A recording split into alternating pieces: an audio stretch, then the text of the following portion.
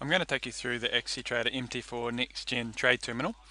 To activate the trade terminal, simply drag and drop it from your list of expert advisors onto the chart. Click OK.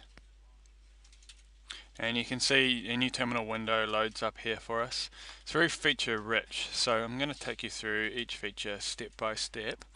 So first of all you have your little uh, buy and sell tickets here they are going to display in this window whatever is in your market watch.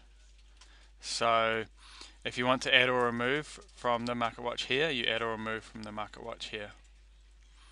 On each ticket you can see you have your lots, so your trade size, stop loss, trailing stop, distance, take profit, you can buy, you can sell, and you have your spread. You can also see if you had a position, you have a figure up here like we do in the AUD JPY telling us our net open position. And we also have the ability to open up a order template so either a new order. You can see that here new order using different money management rules here. If we want to risk 1% of our account for example you can place the order or save it as a template. You can also go in and choose from pre-built templates. So these are templates that I've created in the past. You click on symbol information. Symbol information tells you the pip size, etc. Pip point uh, value per pip is also very important. That tells you how much in your base currency, how much the you're going to make or lose for, per pip movement. And then you can go in and I won't do it now, but you can click and open a new chart for the symbol you're looking at here. Okay, on the right hand side we have our account info. So as well as displaying the info here, what's neat is you can add an alarm. So we click on the icon and that lets us put an alarm on the different account criteria we have. So alarm on balance. So if our balance falls below a certain amount or is greater than a certain amount, you can set an alarm the alarm can send an email, it can close all orders or close all charts. Closing all charts will stop any EAs you have running from working. You can turn the alarm on and off. Okay, so very useful. What you might want to do is think about the different elements in your trading plan like that you want to set up alerts on. So you might have a rule in your trading plan that says if I'm down by 2% for a day, I'm going to um, stop trading. So you can send an alert on that 2%, for example. And then we have down the bottom here, we have our open and pending orders, which has a lot of functions to it as well. You can see here, we can make it disappear. So if when you first open it, if you, if you can't see it here, you just can click here, will pop open. Or if you want it to stay open, click on the right hand side, the little arrows here. We can go through, we can view our window by open positions, pending orders, all orders. We have close functions, so you can close all, close all open positions, delete any pending orders, close all winners, and close all losers. So just some neat shortcuts there. We have tools, so you can add a partial close, or partially close a all orders in one go if you want to reduce your position sizes, add stop losses, take profits, add trailing stops, set up a break even exit. You can also use automated close. Automated close is very powerful. If we, shall bring it up using this one here. Create automated close on a particular order. You can set these as templates, but for example, what you might say is when its profit in pips is greater than 50, I want to close 30% of my trade and then I might say and then I want to set the stop loss to 50 pips. And then I might add even another rule. So I want when net profit is greater to or equal than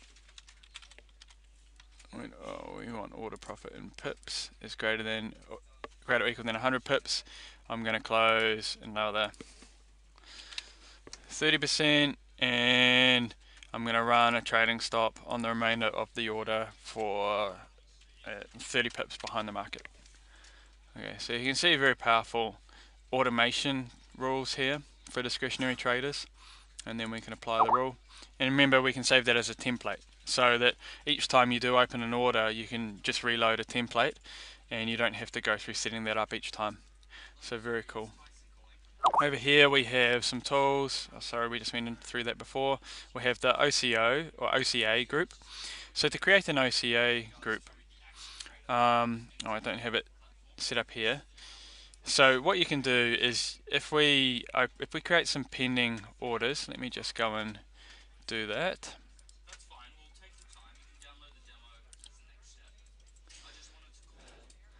Okay.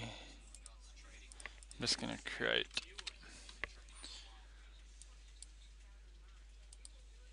a couple of orders here.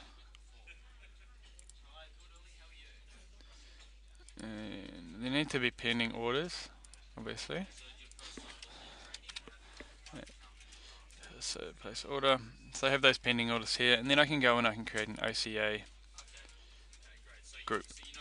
So what I can do is I can choose if one order is executed it can cancel other orders.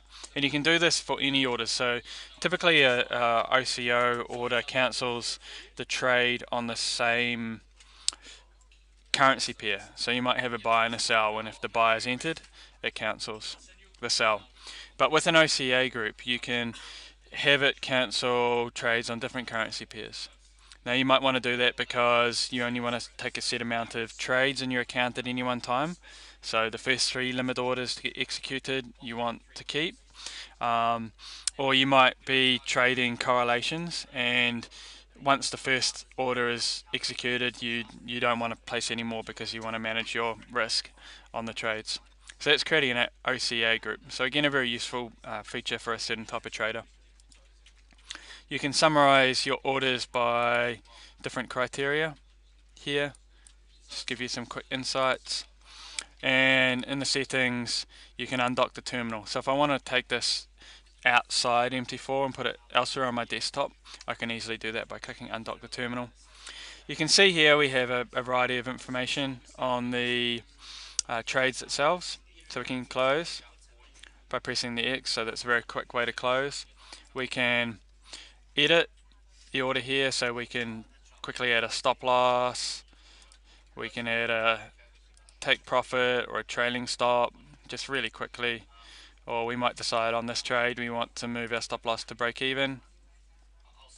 Okay so those little actions. And then you can see the different information that is displayed here. There's a little bit more information on this particular window here than or order open and pending orders window then on the traditional MT4 order window. Okay, so that's the AxiTrader MT4 NexGen Trade Terminal.